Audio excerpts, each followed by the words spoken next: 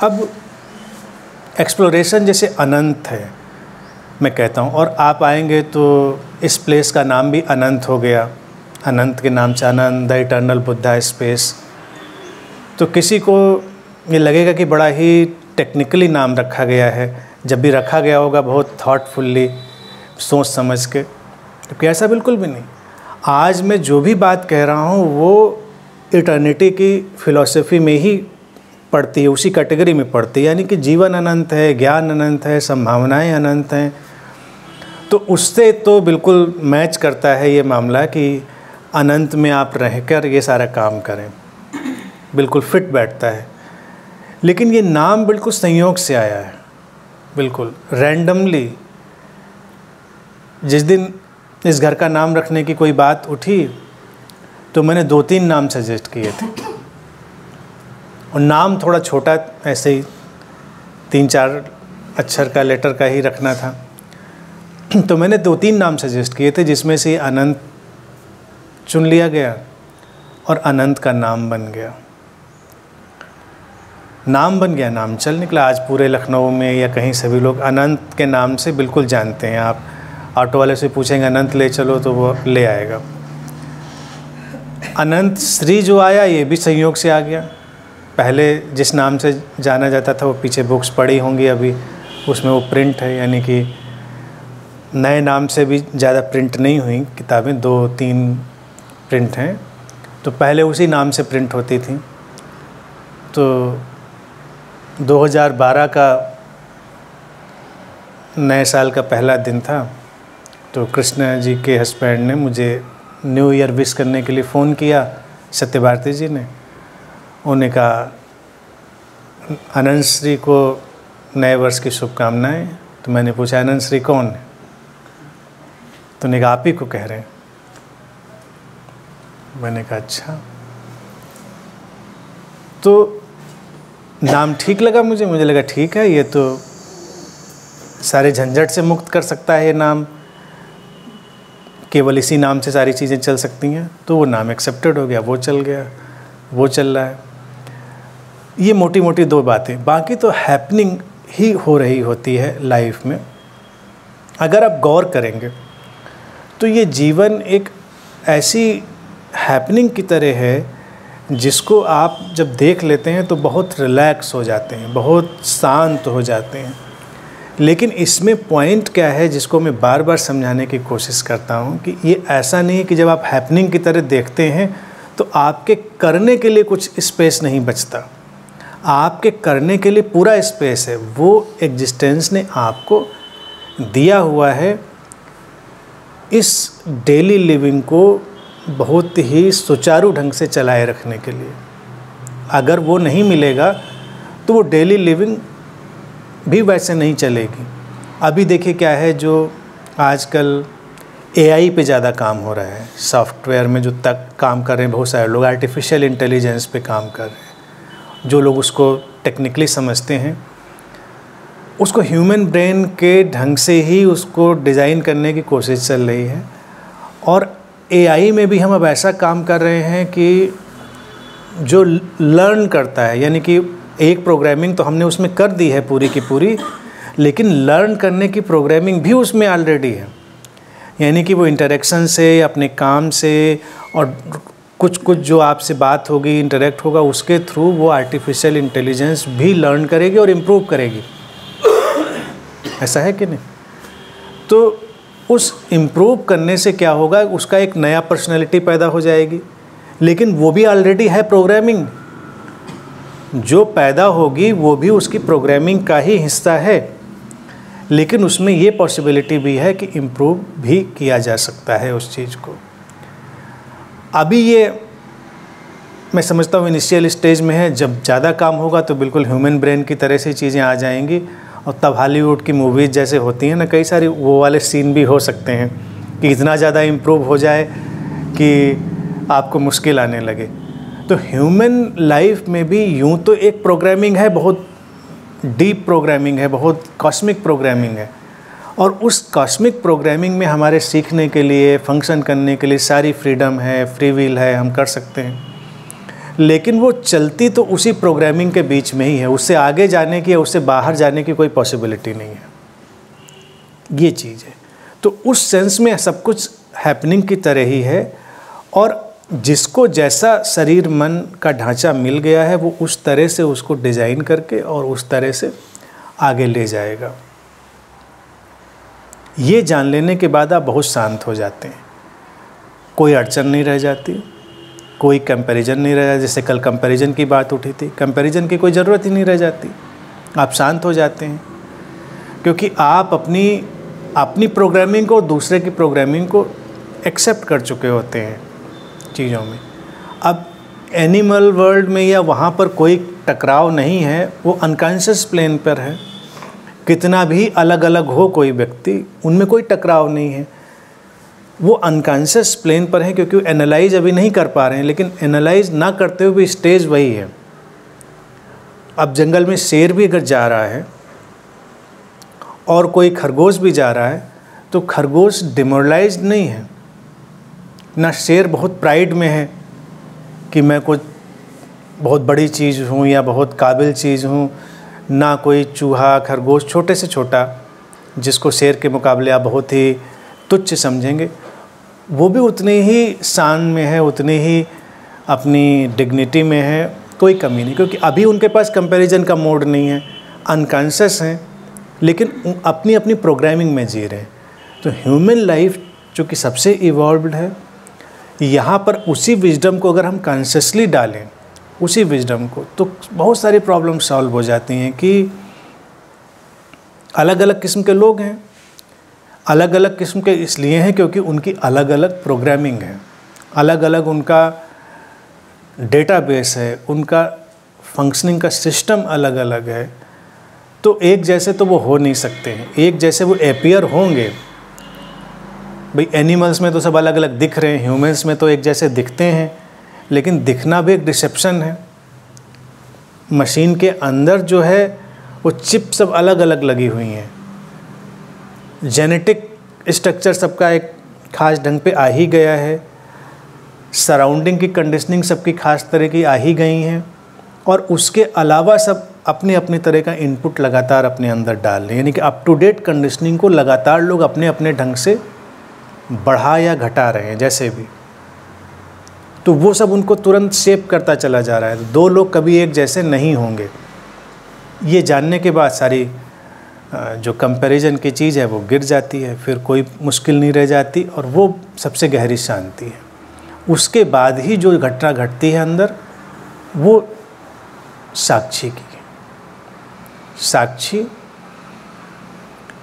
अपने अंदर टूटा हुआ कोई हिस्सा नहीं है। साक्षी ऐसी समझ है कि जीवन में हमारे अंदर कोई ऐसा प्लेन है जो सब कुछ को कहीं दूर से या कहीं गहराई से, ये वो थोड़ा पोइटिक है। ये बातें पोइटिक ही होती हैं। दूर और गहराई ऐसी कहीं नहीं होती, लेकिन वो फील ऐसा ही होता है। आप सब बस महसूस करते हैं। यानी उसका हिस्सा नहीं है आप। उसका हिस्सा नहीं है, बस इतनी सी बात है। और इसको मैंने बहुत बार बहुत सिंप्लीफाइड टर्म में कहा, जब, जैसे आदि शंकर ने अपनी बात रखी कि ये संसार जो है सपने जैसा है। तो लोगों को लगता है सपने जैसे का मतलब ये अयथार्थ है इल्यूजन है, ऐसा उन्होंने नहीं कहा अयथार्थ है। सपने को भी अगर आप अपने समझें एनालाइज करें तो सपने में भी कई बड़े क्लूज हैं, बड़े मेडिटेटिव क्लूज हैं। और ज़्यादातर मेडिटेटर सपने को बहुत निंदित करने में लग जाते हैं, उसको कंडेम करने में लग जाते हैं। जो लोग भी थोड़ा ठीक से सपना विविडली देखने में सक्षम हैं, यूँ तो सभी को आते हैं, लेकिन अगर आप विविड कोई सपना देखते हैं, स्पष्ट रूप से तो आप देखें कि सपने में कई चीज़ें होती हैं, कई तल होते हैं। एक तो आप अपने को एक कैरेक्टर के रूप में देखते हैं, कि आप जा रहे हैं, कर रहे हैं, कुछ भी आप यानी कि आप एक कैरेक्टर है उसमें, सपने में। एक किरदार हैं केवल। किरदार के अलावा सपने में कोई एक ऐसा फिनोमिना है, कोई ऐसा एलिमेंट है जो उस सबको भी देख रहा है। तभी तो आप रिपोर्ट कर पाते हैं सुबह उठने के बाद कि मैंने देखा कि मैं जा रहा था और मैं वहाँ ये कर रहा था, मेरे साथ ये हुआ मुझको। और जो वो देखने वाले फिनोमिना था, सपने में भी कभी ये क्वेश्चन नहीं होता कि ये अगर मैं ही करेक्टर हूँ इसमें और मैं ही देख रहा हूँ तो देखने वाला कहाँ पर है? मतलब हु इज़ सीइंग ये सपने में क्वेश्चन कभी भी नहीं उठता। लेकिन सपने में कोई देखने वाला है जो सब कुछ को देख रहा है। तभी रिपोर्टिंग में आप एक थर्ड पर्सन की तरह रिपोर्ट कर पाते हैं कि मैंने अपने को वहाँ देखा, मैंने अपने को ये करते हुए देखा, मैंने वो जो एलिमेंट है, वही साक्षी है। जो सभी के अंदर हमेशा अवेलेबल है। और उसको अगर हम रिकॉल करें, यानी कि ड्रीम लाइक सिचुएशन को हम रिकॉल करें तो हम इस सारे जीवन में सब कुछ होते हुए भी देखेंगे और अपने को एक कैरेक्टर की तरह भी देखेंगे। यानी कि जो वो देखने वाला है, सपने में अगर कैरेक्टर से बिल्कुल मर्ज हो जाए तो जो प्रॉब्लम होगी, यानी कि सपना फिर थोड़ा अड़चन में पड़ जाएगा। वही प्रॉब्लम हमारी नॉर्मल लाइफ में होती है। बस इतना छोटा सा डिटैचमेंट अगर वो कर लें तो जीवन सपने जैसा ही हो गया। यानी कि सब सपने जैसा ही हो गया। काम सब पूरे हो रहे हैं। सपने में भी अगर हम भूखे प्यासे होते हैं तो उस समय परेशानी उतनी ही होती है। सपने में चोट लगे, दुख दर्द हो तो उतना ही सब परेशानी होती। ये है जागने के बाद आपको लगता है अच्छा सपना था। इस लाइफ में डिटैचमेंट के प्लेन पे अगर वो जो ऑब्जर्वर है, वो आ जाए, जो डिटैच्ड ऑब्जर्वर है, जो सब किरदारों को करेक्टर्स को देखता है और अपने को दैट इज़ साक्षी। और जब वो आएगा तो उसके बाद धीरे धीरे ये भी पता चल जाएगा कि जो ये दूर से देखने वाला है, जो दूर हट के देखने वाला है, वही सोर्स है, वही स्रोत है। वो सब सब जगह फैला हुआ है। उसमें और किसी में कोई डिफरेंस नहीं है। तब फिर एक अंतिम समझ आती है अल्टीमेट अंडरस्टैंडिंग जिसको जी कृष्णमूर्ति भी बार बार रिपीट करते थे। ऑब्जर्वर इज़ द ऑब्जर्व्ड दृष्टा ही दृश्य है। यानी कि जो दृश्य है, वो अलग नहीं है देखने वाले से। एक अगर दृश्य अलग नहीं है देखने वाले से, वो एक ही है तो इसमें फिर अद्वैत का वही भाव आ जाता है कि जो कुछ है, एक ही चेतना है all there is one consciousness वही हर तरफ़ से घट रही है। तो सपने की स्थिति से इस स्थिति तक जाना, ये इनलाइटनमेंट ये अंतिम बोध है। शुरुआत लेकिन वहाँ से अगर करी जाएगी तो हम ये कहेंगे कि ये अंतर यात्रा या साधना वो शुरू हो गई। किसी और गिमिक या किसी और सर्कस या किसी और फैंटेसी से वो नहीं शुरू होती। अपने जीवन में उस डिटैच्ड ऑब्जर्वर को लाने से सिंपल और वो ड्रीम लाइक स्टेट है। बहुत बहुत सूदिंग है।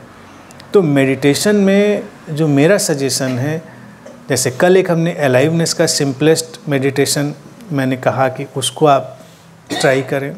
इसी तरह से ये एक दूसरा सिंपलेस्ट मेडिटेशन है कि जब अपनी ड्रीम की सिचुएशन को आप अपनी एक्चुअल लाइफ में ले आते हैं और बस महसूस करते हैं कि कहाँ से कैसे नहीं पता, बस ये है और वो उससे अलग है। आप यहाँ बैठे हैं तो आप अपने को वॉच कर रहे हैं सबको वॉच कर रहे हैं ऑब्ज़र्व करें कि बैठे। ये सिचुएशन है एक्चुअल में। क्योंकि कभी आप इसको भी रिपोर्ट करेंगे तो आप ऐसे ही उसको रिपोर्ट कर पाएँगे।